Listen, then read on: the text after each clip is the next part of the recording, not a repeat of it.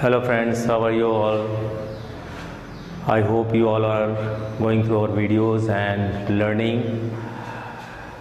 मुझे आशा है कि आप लोग हर दिन हमारे अपलोड किए हुए वीडियोस को देख रहे हैं और इस लॉकडाउन पीरियड में जो भी सीख सकते हैं ऑनलाइन माध्यम से वो आप सीखने की कोशिश कर रहे हैं इसी कड़ी में हम आगे चलते हैं और आज specially for class twelfth C या आर किसी भी पैटर्न में आप पढ़ रहे हैं उसके लिए एक मैंने मेट्रोमोनियल कॉलम के लिए एक क्लासिफाइड एडवर्टाइजमेंट तैयार किया है।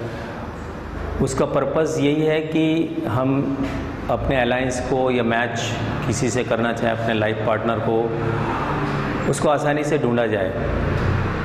तो एक बड़े, बड़ा ही अच्छा सा एक मेथड डेवलप हो चुका है और काफ़ी पॉपुलर है।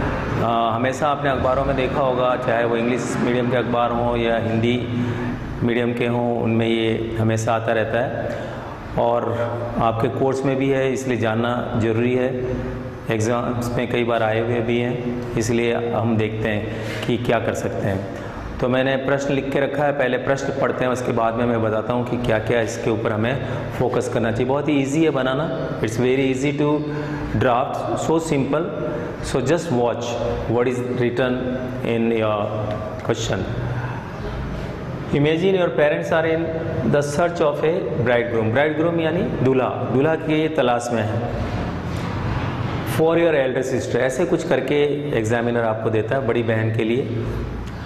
Draft a classified advertisement to be published in the newspaper ये ऐसा एक सिंपल सा प्रश्न आ गया। बाकी सारे जो डिटेल्स है, वो सब आपको ही इन्वेंट करना है या उसको क्रिएट करना है। कोई ज़्यादा बड़ा इशू नहीं है। It's a very simple thing just you watch what we have to do बहुत ही आसान है। तो सबसे पहले जो हेडिंग है, मैंने जैसे पहले भी एडवर्टाइजमेंट जो भी सीरीज़ में हमने बनाया और कोई भी चीज़ चाहिए हमें, वो वांटेड से बनाया जा सकता है। इसके लिए अलायंस का भी प्रयोग कर सकते हैं। मैच का भी प्रयोग कर सकते हैं, लेकिन ज़्यादा पॉपुलर वांटेड से ही है तो मैंने भी उसी हेडिंग को यूज़ किया है। तो मैंने यहाँ पे यूज़ किया है वांटेड ब्राइड रूम दुल्हा चाहिए, इसका मतलब हिंदी में हो गया दुल्हा चाहिए। Wanted a boy for Punjabi Khatri girl इसका मतलब ये हो गया कि जो लड़की है, यानी जो कास्ट है, वो पंजाबी खत्री है। ठीक है? ओके अब वो सारे डिटेल्स लड़की के आने चाहिए। मतलब यहाँ तो एज्यूम करना है कि आपकी सिस्टर ही है। बट अगर जनरल वे में देखा जाए तो जिस लड़की के लिए हमें ब्राइड ग्रूम चाहिए तो उस लड़की के सारे डिटेल्स यहाँ पर लिखने जो कुछ भी करीब करीब लोगों को आवश्यकता है कि ऐसा हो, ये टैलेंट हो उसके अंदर तो वो सारी चीज़ें हम यहाँ पर दिखा सकते हैं। ब्यूटीफुल सुंदर है स्लीम दुबली पतली है होमली घरेलू है मतलब घर का सारा काम वगैरह करना जानती है that is what the homely is expert in cooking special case है कि भाई कुकिंग बहुत अच्छा कर लेती है एक्सपर्ट इन कुकिंग और क्या टैलेंट है, वो भी जोड़ सकते हैं। जैसे लिखा है मैंने knows Indian classical dance dance भी कई फॉर्म के हैं, लेकिन उसने क्लासिकल सीखा हुआ है तो क्लासिकल फिर क्वालिफिकेशन की बात हो रही है। क्वालिफिकेशन क्या है? M A B Ed working as a government teacher यहाँ पे एक चीज़ और मेंशन कर सकते हैं, उसकी हाइट तो मैं यहाँ पे मेंशन कर देता हूँ. Height five feet five inch मतलब हाइट भी दिखा सकते हैं, जिससे कि एक पूरा वैसे पता लग जाए.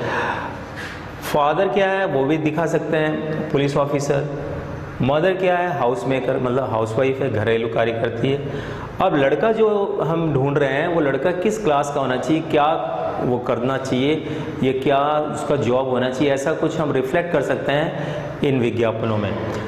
So boy should be a doctor या तो वो डॉक्टर हो एन इंजीनियर या वो इंजीनियर हो और ए टीचर या अध्यापक हो। इन तीनों क्लास में से कोई भी एक होगा तो वो सूट करेगा। बाकी डिटेल्स तो बाद में देखा जाएगा उसका। अर्ली मैरिज यानी कि जो ये विज्ञापन दिया जा रहा है, इसीलिए दिया जा रहा है कि शादी जल्दी करनी है। इसमें डिले वाली बात नहीं है। लड़की पंजाबी खतरी गर्ल दिखाया गया है, लेकिन यहाँ पे लिखा है नो कास्ट बार। यानी कि कोई जाति बंधन नहीं। ये कई बार लोग लिखते नहीं हैं। अगर नहीं लिखा इसका मतलब उसी पर्टिकुलर जाति से ही लड़का चाहिए।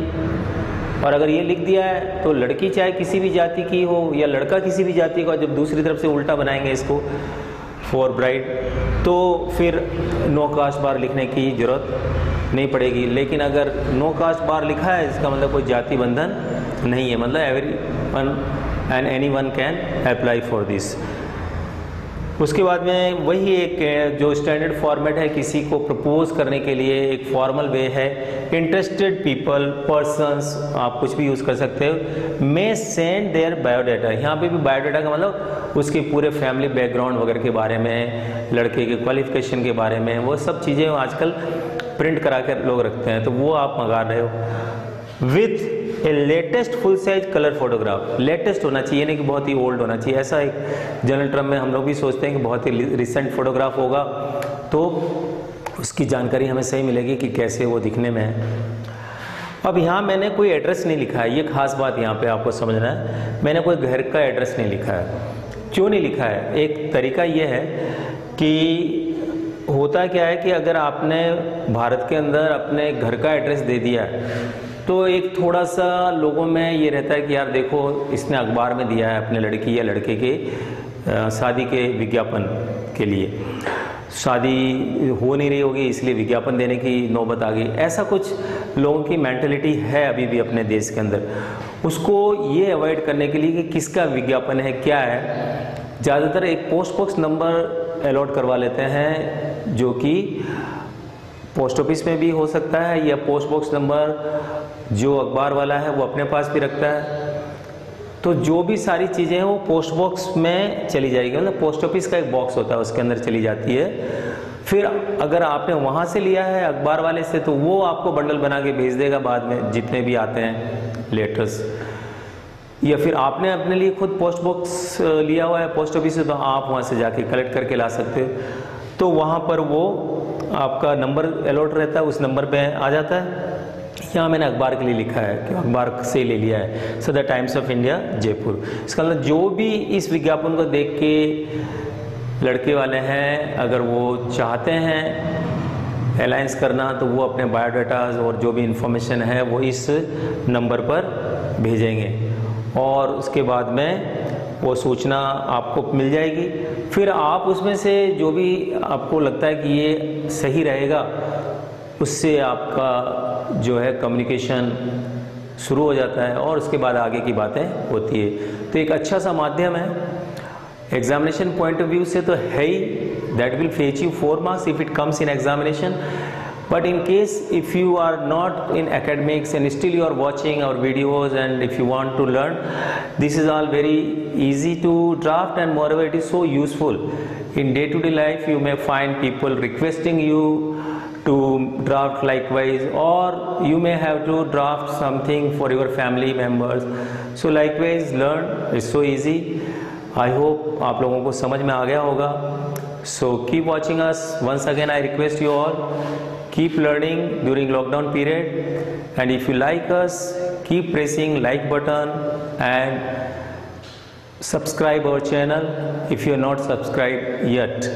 And tell people also about our channel and let them also subscribe and take the advantage of all the subjects. Not only english all the subjects are being taught here online. So you can utilize those things during lockdown period. Okay bye bye for the day. See you